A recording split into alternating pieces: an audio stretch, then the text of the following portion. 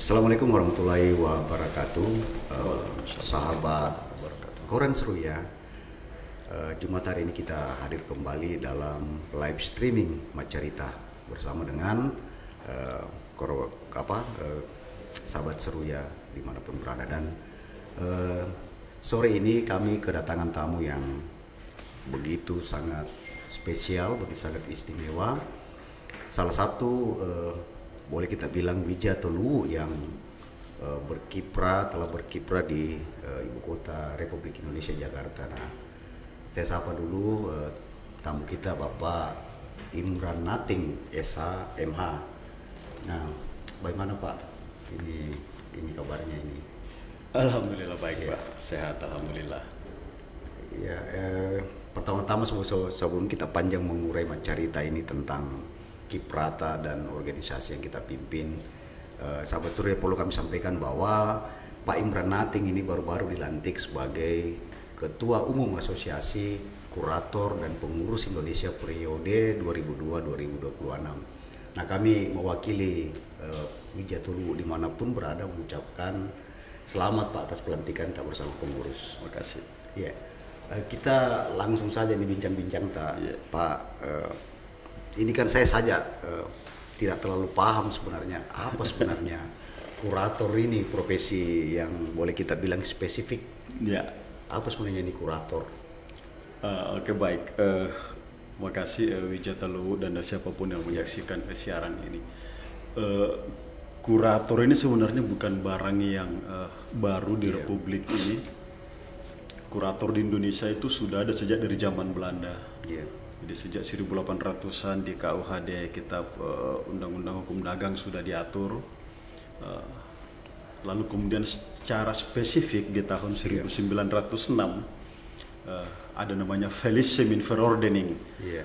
Ini undang-undang Belanda. Di sinilah diatur tentang kepailitan Oh, dan penundaan kewajiban pembayaran utang sekaligus diperkenalkan yang namanya profesi kurator. Jadi Iya. sejak 1906 itu di Indonesia Hmm. eh, diberlakukan ini Felicem Verordening bersamaan dengan berlakunya di Belanda juga. Iya.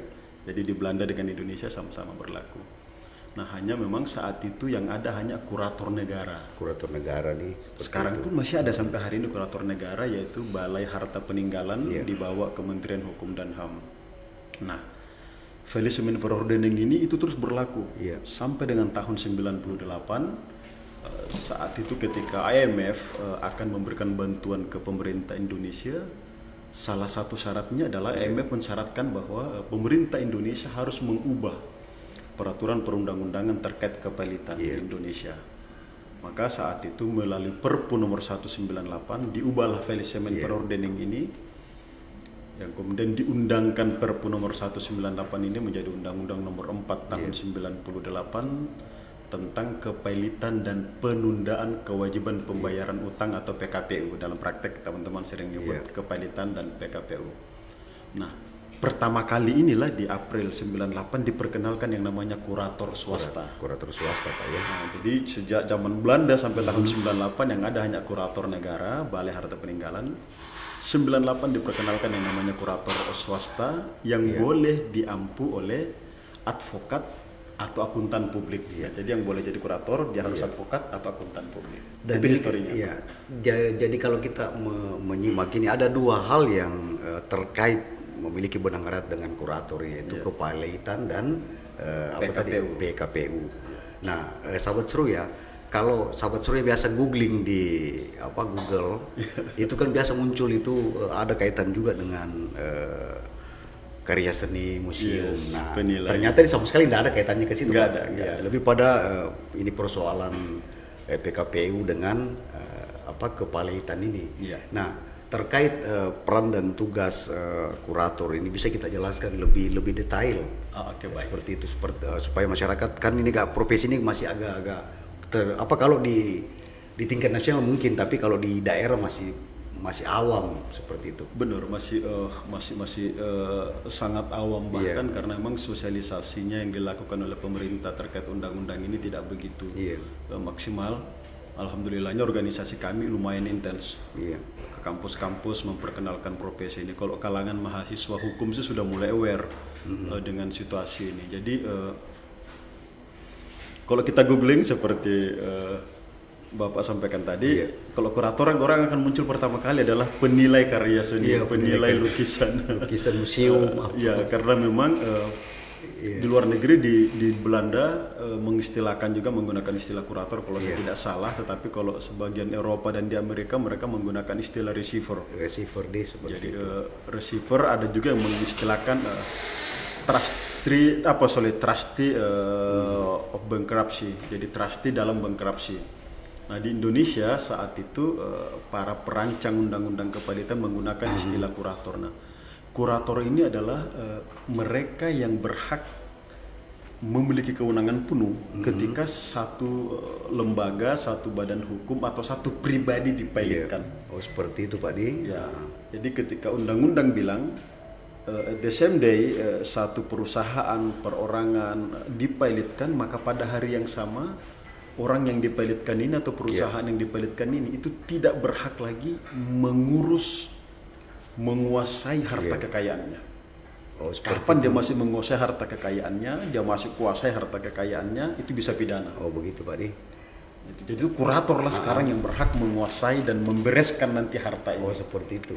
Iya. Nah ini kurator ini apakah memang eh, khusus untuk eh, perusahaan-perusahaan plat merah atau non plat merah juga?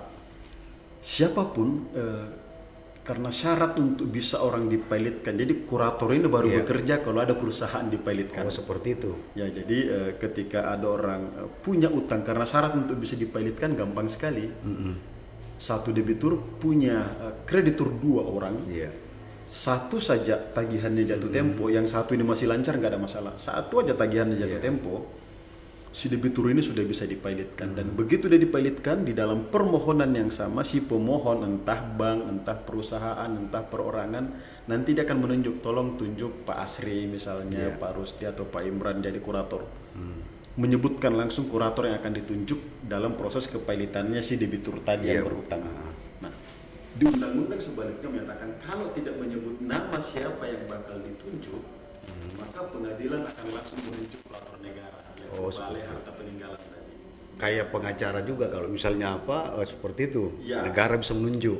Yes. Nah kalau dalam praktek eh, kerja-kerja kurator ini saya sedikit Iya. menyinggung ini ada ndak bisa tanda petik main-main seperti itu atau ya mafia mafia bagaimana mempelai kasih eh, pilot perusahaan Eh, Atau tidak? Semua profesi kalau mau Iya. digunakan secara jahat bisa. Dan cuma memang bedanya kami ini kurator adalah bersifat Iya. pasif. Kami ditunjuk oleh para pihak yang bersengketa. oh seperti itu bukan ditunjuk oleh dia, kami dimohonkan oleh mereka kepada pengadilan supaya pengadilan mengangkat kami. Jadi yang mengangkat kami ini pengadilan. pengadilan ya Hanya si pemohon pilot memohon kepada pengadilan supaya mengangkat kami. iya Nah, di dalam setiap kepalitan itu ada dua profesi yang diangkat, satu hakim pengawas dan satu kurator.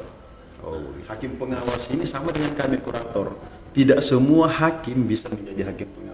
Iya Yang bisa menjadi hakim pengawas hanya hakim yang telah mengikuti pendidikan pengadilan apa, kekhususan niaga. Sama dengan kami advokat yang telah mengikuti pendidikan kekhususan eh, niaga, eh, pendidikan kurator untuk bisa menjadi eh, kurator. Kalau mau disalahgunakan untuk membunuh saingan usaha kita Iya. juga ya sangat sangat sangat juga. bisa peluangnya Sangat seperti bisa itu. peluangnya. Nah ini pertanyaannya ini eh, bagaimana sebenarnya kalau misalnya orang mau eh, menggoliti profesi ini haruskah memang seorang notaris atau ada sekolah khususnya At- eh, harus sarjana hukum harus ada spesifikasi pendidikannya. Oh, baik. Iya. Eh, di peraturan menteri memang telah diatur bahwa eh, yang bisa menjadi kurator adalah eh, advokat atau akuntan publik. Akuntan publik. Jadi itu syaratnya. Kalau Iya. advokat maka dia otomatis harus sarjana hukum. Oh, iya. Ah. Ikut pendidikan advokat, lulus advokat, lalu ikut pendidikan kurator. Ada spesifikasi seperti itu. Ada spesifikasi. Ada uji kompetensi. sangat Iya seperti itu di. sangat. Dan kayak di profesi kami, eh, kami organisasi tertua dan terbesar di eh, profesi kurator. Eh, siapa pun yang berhasil bergabung kepada kami atau menjadi alumni kami itu menjadi kebanggaan tersendiri. Oh seperti itu. Karena eh, untuk ikut pendidikan di kami saja itu tidak mudah. Kami pendidikannya 40 juta dua minggu. Begitu dia luar biasa juga malnya. Bukan mahalnya. 40 juta mahal tapi orang berebut. Oh begitu. Kami ketika buka pendaftaran secara online 30 menit, eh sorry, 3 menit kuota langsung penuh. langsung full di oh seperti itu Padahal tidak sekedar mendaftar untuk men, untuk ikut pendidikan ke kami ikut tes. oh begitu ketat sekali Ketat sekali. Jadi untuk ikut pendidikan saja dia harus tes 10 soal. Dia lolos baru dia boleh ikut pendidikan. Ikut pendidikan lagi di kami bisa lulus 60% itu sudah hebat. sangat hebat. nah ini kan juga begitu ketatnya masuk eh, mengikuti persyaratan untuk menjadi kurator. Penghasilannya juga kalau sahabat jadi cukup besar. Katanya biar tiru-tiru juga jalan. Tuh, malah ada salah satu artikel yang saya baca Pak Imran bahwa kurator itu bisa berpenghasilan dalam enam bulan itu 18 miliar karena eh, hitungan kerjanya ini per jam dihitung per jam seperti itu dikalkulasi seperti apa memang seperti itu Pak Eh, kalau kami kurator berbeda dengan advokat.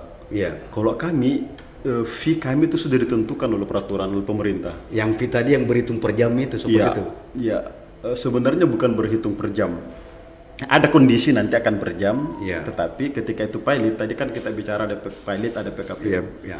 Kalau di kepilotan kita adalah 7% dari nilai aset. Oh seperti itu di Jadi kalau nilai aset yang kita eksekusi 100 miliar, berarti fee kita di sana 7%. 7%. Eh, Berarti sekitar 7 miliar. 7 miliar, Fee kita di situ di luar biaya-biaya karena kerja kami kurator seluruh biaya yang kami keluarkan itu diganti seluruhnya. Iya. Lain lagi kalau di PKPU, kalau di PKPU penundaan kewajiban pembayaran hutang tadi eh, apa namanya eh, fee kami itu sekitar 6% dari nilai utang. Oh seperti itu. Jadi kalau kayak teman kemarin yang sukses merestrukturisasi Garuda 140 triliun, silakan dikalikan 6% itu berapa itu lah kira-kira fee-nya gitu. Nah ini kan eh, apa namanya masa kerjanya eh, kurator ini untuk menyelesaikan sebuah perkara misalnya ke pilot apa yang kebangkrutan atau apa atau PKPU tadi berapa masa jauh masa lama bekerjanya apakah satu bulan atau Ah, nah ini baru mulai orang mikir nih. Iya. Tadi kan kesannya enak fee-nya. NFV-nya 7 persen seperti Nah, masa kerja di kepalitan itu tidak ada batasan waktu karena kenapa? Bergantung kapan aset terjual. oh begitu Saya sampai sekarang ada satu aset di daerah Karawang, satu hamparan tanah 75 hektar, nilainya itu triliun. Tapi sudah 10 tahun sampai sekarang tidak bisa terjual. oh begitu di berarti Dan Anda bisa bayangkan selama 10 tahun saya harus menjaga area itu, iya merawat area itu dan semua dari uang pribadi. begitu Kerja kurator itu modal pribadi. model pribadi di nanti terakhir baru baku hitung Yes, terjual semua baru biaya kita potong, baru fee kita ambil. Nah, ada nggak yang mau 10 tahun membiayai itu? Iya, benar Keluar terus menerus. Artinya jangan tergiur pada eh, penghasilan.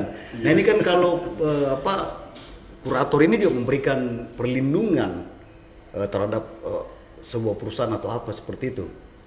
No, eh, jadi tadi saya sampaikan, ketika orang sudah dinyatakan berada dalam keadaan pilot, Pilot. karena dia punya utang yang tidak sanggup membayar lagi, lalu oleh pengadilan dipilotkan, seketika dia tidak berhak menguasai dan mengurus Iya. harta kekayaannya. Kurator yang masuk ke dalam. Yang masuk di Ya, kurator akan mengamankan seluruhnya, termasuk saya tahu persis di Kota Palu pun ada satu harta pilot yang kebetulan anggota kami yang menjadi kuratornya. oh iya. Dikuasai, lalu kemudian nanti akan dijual, akan dilelang. Nah hasil lelang inilah nanti yang kemudian di eh, di apa namanya di di di di, di, diambil fee-nya oleh kurator. Tapi dalam proses pengurusan ini keselamatan aset ini Iya. mempertahankan nilai aset ini itu menjadi tanggung jawab kita. Iya iya. Jadi kalau tadi dia pilot nilai aset ini 10 miliar, Iya. lalu dalam proses pilot turun menjadi 7 miliar. Karena kita lalai memaksimalkan Iya. nilai aset, maka 3 miliar ini menjadi tanggung jawab kami. Besar juga. Oh, resikonya. Resikonya di. Kalau bahasa teman-teman, kita bisa pulang dengan kancut gitu. Nah ini eh, eh, kita lebih jauh ini mengulaskan eh, yang menarik ini bahwa eh, pada waktu pemilihan ketua apa Iya. asosiasi kurator dan pengurus Indonesia kita sangat seru ceritanya Ya. apalagi kan kita berhadapan dengan eh, boleh saya istilahkan Hotman Paris dan kawan-kawan kita kalahkan situ dan seru votingnya ya bisa kita jelaskan sedikit bagaimana serunya pemilihan itu Eh, iya, pemilihan kemarin memang sangat eh, dinamis. eh. mungkin hampir saya bilang bahwa di seluruh kelompok organisasi profesional yang ada di Jabar Pusat di Jakarta yang eh, melaksanakan proses pemilihan, saya bisa mengklaim diri bahwa AKPI inilah mungkin yang paling profesional dalam proses pemilihannya. Cara berkampanyenya keliling Indonesia eh, dengan sangat profesional secara akademis juga kampanyenya tidak sekedar yel-yel.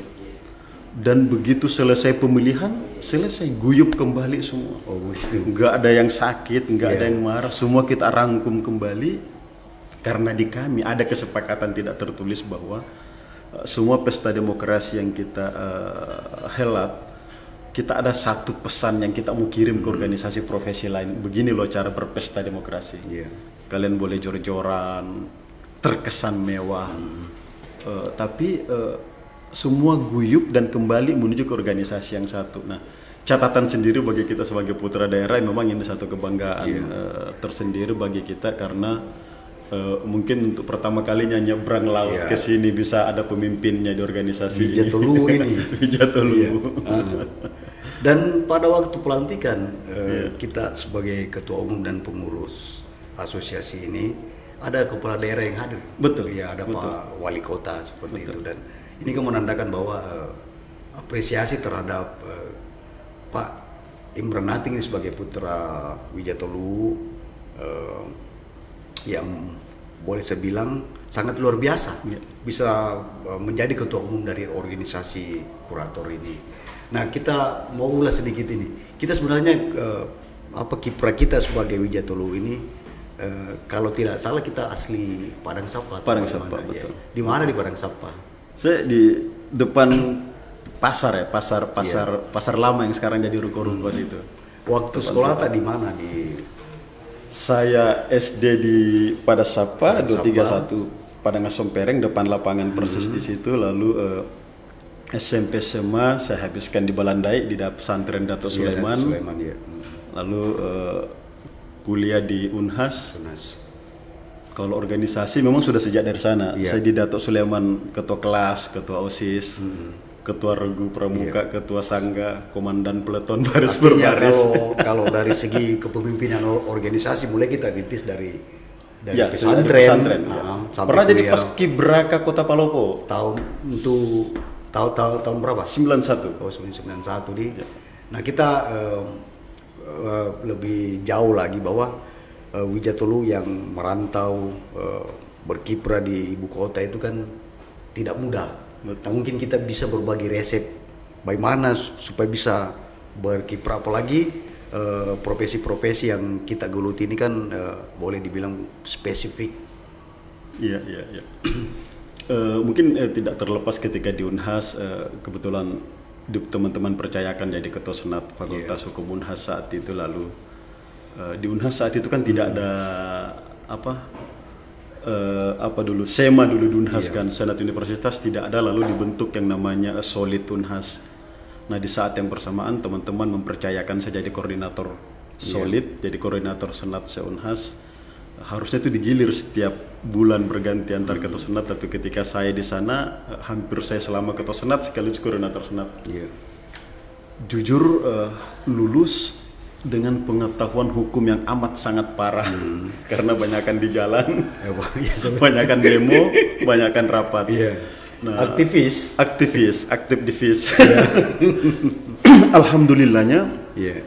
begitu lulus eh, tahun 2000 eh, berangkat ke Jakarta sama teman-teman lalu ikut tes di UI alhamdulillah keterima di UI eh, melanjutkan ngambil eh, hukum bisnis di UI Eh, eh, suatu keajaiban juga karena agak susah saat itu masih cukup berat masuk di UI saat itu bisa keterima di situlah benar-benar baru mulai belajar hukum Iya, artinya fokus ke situ. mulai fokus Iya, dan apa spesifikasinya ke hukum bisnis memang hukum bisnis itu. Lalu ketika nulis tesis, memang saya riset tentang kepailitan. Jadi tesis saya memang sudah tentang eh, kepailitan yang saat itu iya. masih masih cukup terbatas yang orang yang mau terjun ke sana. Saya sudah nulis tesis tentang kepailitan di 2001, berarti praktis baru tiga tahun sejak adanya undang-undang kepailitan. Saya sudah mulai riset tentang eh, Iya. kepailitan. Lalu kemudian selesai sekaligus juga saat itu buku saya launching di tahun 2004 saya nulis buku tentang peran dan tanggung jawab kurator dan eh, pengurusan harta pailit. Eh, Saat itu mulai sedikit eh, akademis. Iya. Artinya dengan eh, profesi kita apalagi eh, sebagai ketua umum eh, asosiasi kurator pasti eh, undangan-undangan untuk tampil di seminar atau di kampus-kampus pasti banyak ini Pak ya. Sangat-sangat. Seperti itu. Ada enggak eh, apa eh, seperti kamu ini kan di Kota Polop ini kan salah satu eh, daerah yang cukup maju bidang Iya. pendidikannya. Ada enggak eh, yang pernah ngundang kita di kampus-kampus yang ada di Polop untuk bawa semacam eh, seminar atau apa?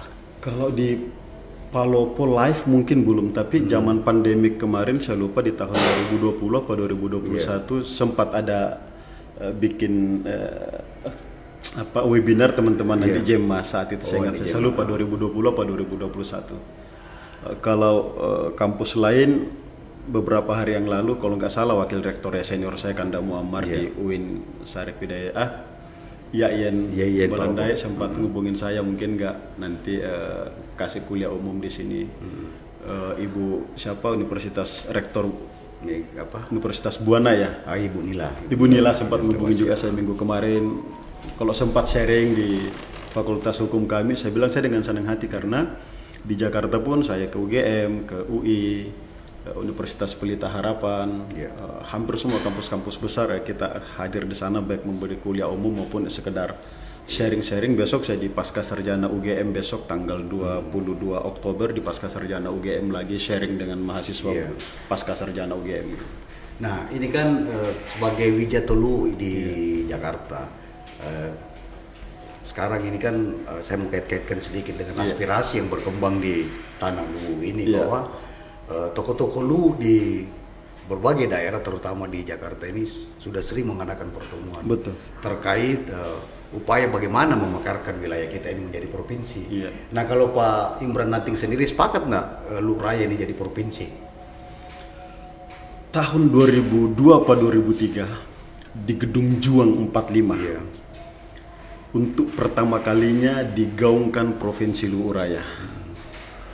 Dan Pak Herudin tahu siapa MC-nya saat itu? Saya MC-nya saat itu. Untuk pertama kalinya ketika digaungkan Provinsi Luwu Raya. Saat itu saya ingat masih bersama dengan keluarga kita dari Toraja saat itu, Profesor Peter Pattasumbung di sambutannya saya masih ingat.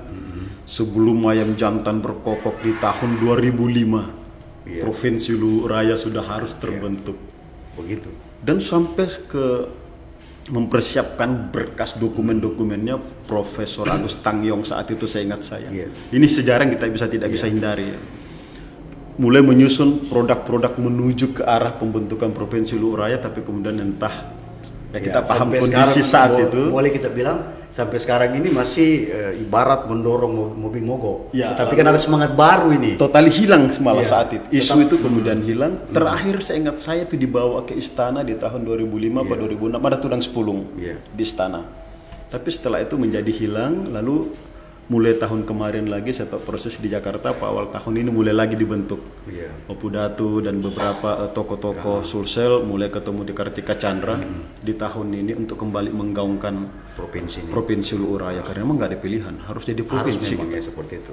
Ini kenapa menurut eh, Pak Imran ini harus jadi provinsi Luraya ini?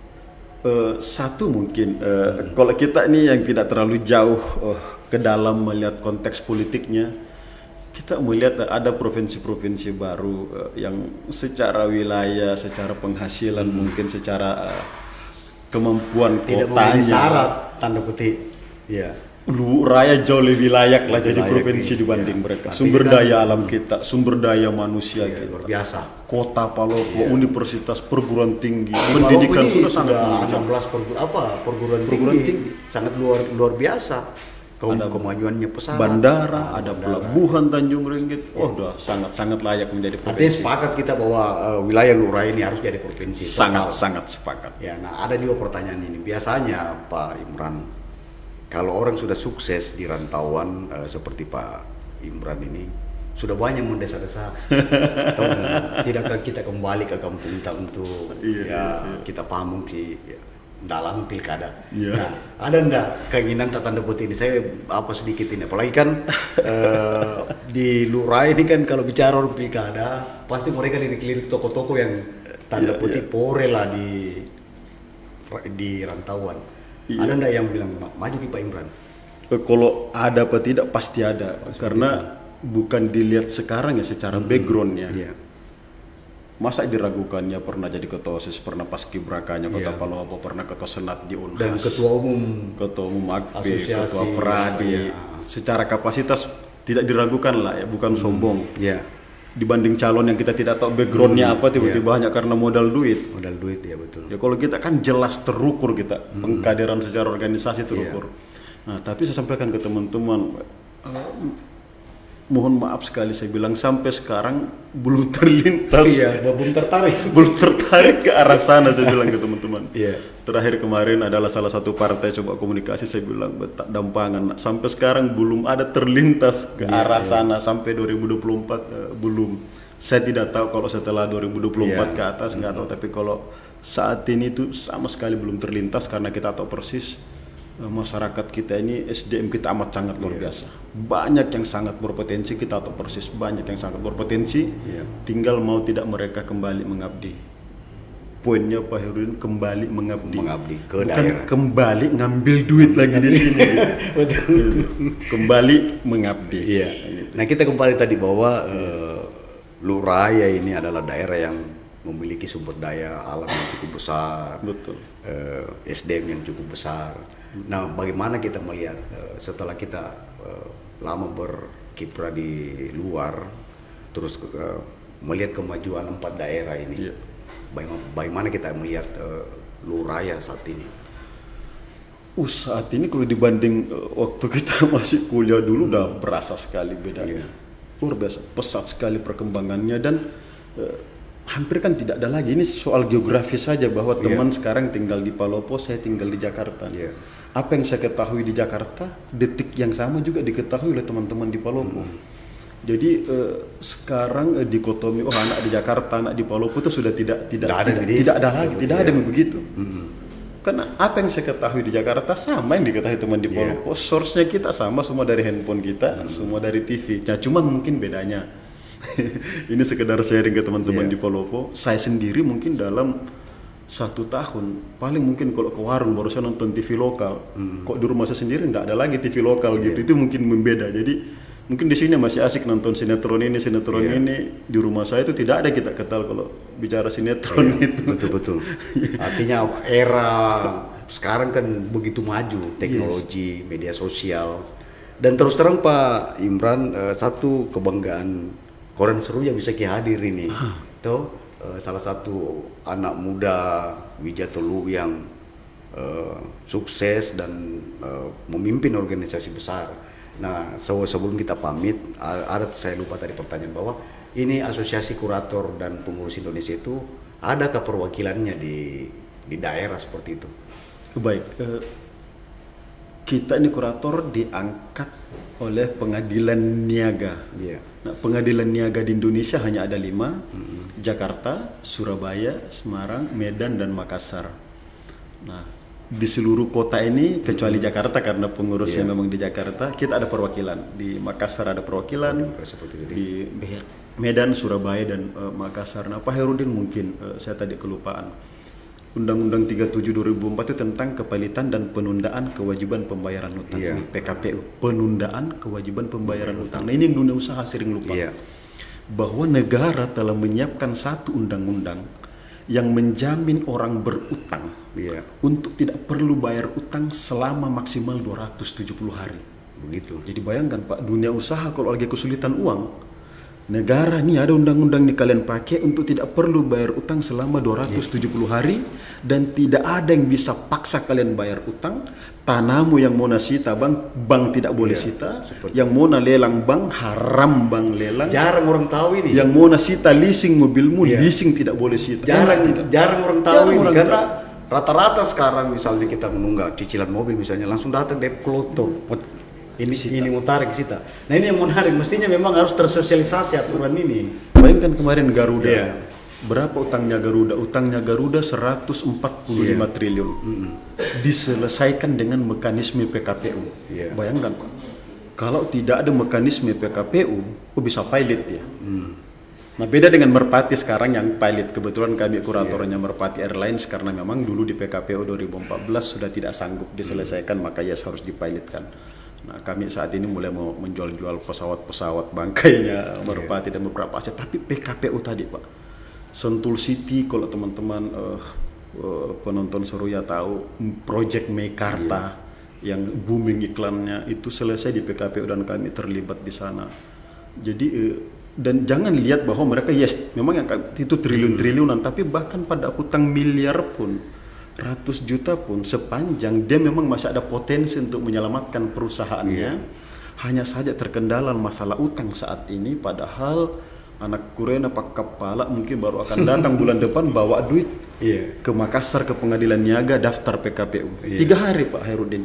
Daftar sekarang hari Jumat hari Selasa kita sudah dinyatakan berada dalam PKPU dan sejak itu tidak ada satu orang pun yang bisa paksa kita bayar utang Iya. bank tidak bisa sita aset kita lelang aset kita leasing tidak boleh sita mobil kita itu jaminan dari undang-undang negara sekalipun tidak bisa paksa kita bayar utang Aturan ini memang harus perlu disosialisasikan supaya masyarakat tahu. terbantu gak perlu pengusaha Ya, kalau begitu? sangat. Seperti itu digunakanlah kesempatan itu oleh dia untuk nego-nego Iya. restrukturisasi potong dong bunganya dendanya hapus dong pokoknya kurangin dong jadi selama masa penundaan kewajiban pembayaran utang itu dimanfaatkanlah oleh dia Iya. untuk menegosiasi cara pembayarannya terminnya dan pengurangan-pengurangan tidak main kasar, main cita-cita pakai debt collector seperti seperti itu. Betul, Iya. betul. Pak. Nah ini yang dunia usaha masih cukup terbatas bahwa ternyata ada undang-undang loh yang, bisa kita pergunakan melindungi kita. Memang bukan menjamin untuk anda ngemplang tidak. Iya. Anda hanya diberikan ketenangan sesaat supaya anda bisa konsentrasi Mencari duit. strategi mencari duit, cari cara keluarnya. Seperti itu. Pak seperti itu. Heru. Tidak langsung main cita. Nah, Yes. eh, kami mengapa eh, segenap kru eh, koran Seruya menyampaikan terima kasih di tengah kesibukan tak pulang kampung yang mungkin satu dua hari saja di lu ini Iya. eh, masih sempat ke hadir di Seruya TV. Mungkin ada pesan-pesan tak atau apa tak ke eh, penonton atau saya istilahkan sahabat Seruya. Eh, iya, eh, pertama sekali eh, khusus mungkin teman-teman di rantau sering-seringlah pulang kampung. Eh, kalau saya sendiri hampir setiap tiga bulan pasti pulang. Nah, habis pelantikan malam jam 2 pagi saya sudah ke bandara. Saya harus ketemu orang tua saya. Orang tua saya sekarang 90 tahun. Setiap saya ada waktu luang pasti saya pulang. Jadi kita di tanah rantau sering-seringlah pulang, jenguk keluarga dan lihat kondisi kampung kita supaya update. Iya.